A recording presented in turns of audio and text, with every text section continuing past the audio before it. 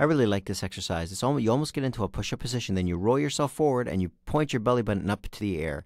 It's a great exercise for your abdominal muscles. Raise one leg off the floor to really make this more challenging. Good job, Shea.